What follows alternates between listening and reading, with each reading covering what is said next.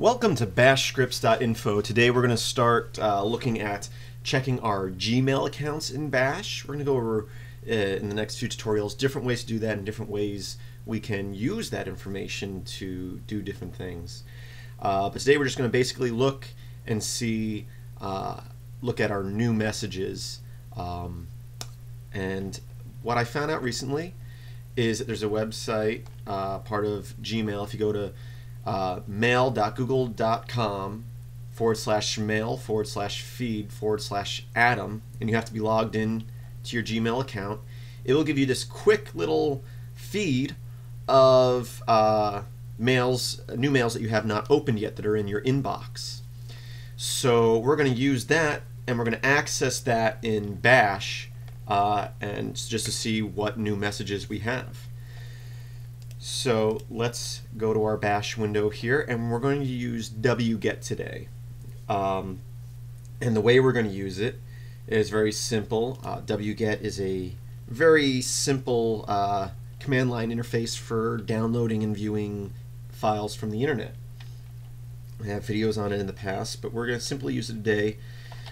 wget, uh, and then we're going to set a secure protocol that we're going to use and the secure protocol we're using is TLS v1. Uh, this is a predecessor to SSL if you're familiar with SSL, so it's similar to like that. That's just, from what I've read, that's what we got to use for the Gmail here.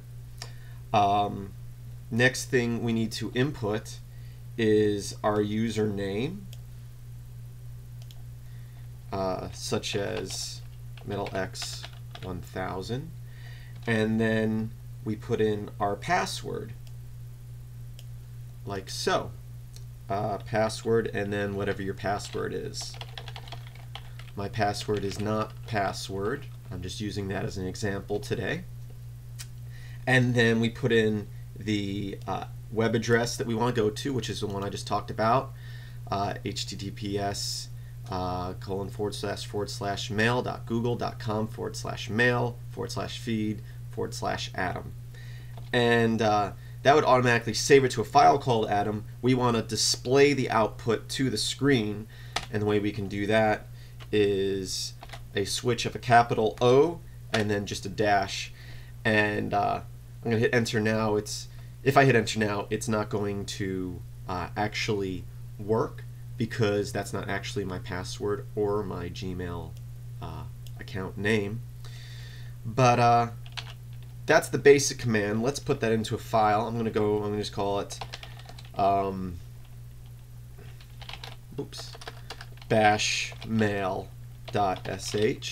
Go in here. I'll start off our script like we always do uh, with our pound asterisk forward slash uh, bin forward slash uh, bash. I said exclamation, or I said asterisk, I meant exclamation point there.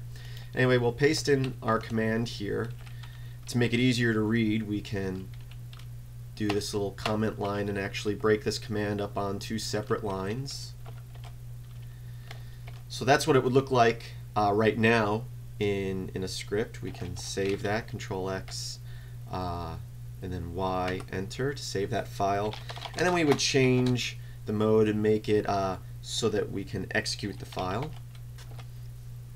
And I've already created another script called MyMail. Same thing, but with my real email uh, user Gmail username and password.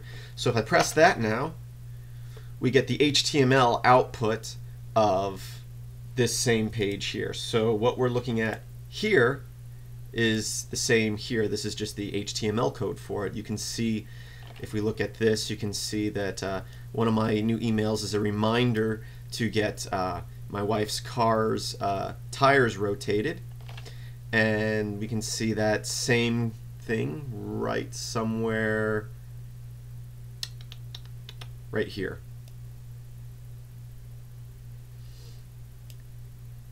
Now in the next tutorials that we're going to go over, we're going to go over uh, grepping out uh, information in there and grabbing information that we want.